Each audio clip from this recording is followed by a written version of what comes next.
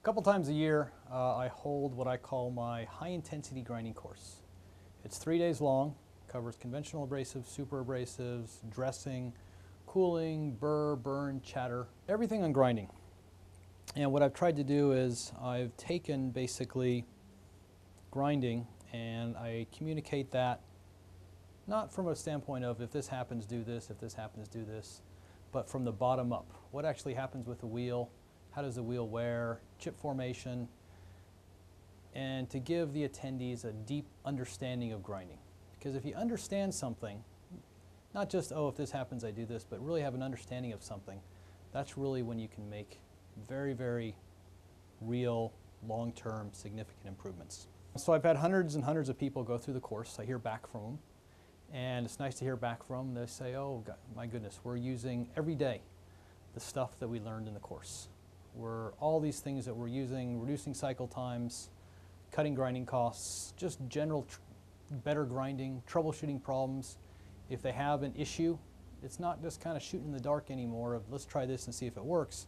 It's, oh, we've got an issue. Let's understand what's going on with our grinding process, and then let's make intelligent choices about what to do.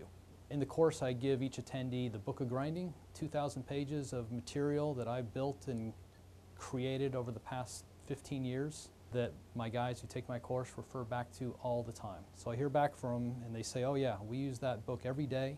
Something comes up, we go to that, we say, oh, what's going on? We're constantly referring to the Book of Grinding. They also get the Grinder's Toolbox, which is a spreadsheet for calculating optimum grinding, dressing, and cooling parameters and they say, oh yeah, we're constantly uh, putting values into the grinder's toolbox to see, oh, how are we doing? Are we too aggressive, not aggressive enough? Is our coolant velocity right? Everything else. If you really want to get a good handle of your grinding operations, you want to take ownership of your grinding, you want to get an understanding of grinding so that not just next week, but in the next five or 10 years, you can make significant improvements to your grinding operations. You want to attend the course.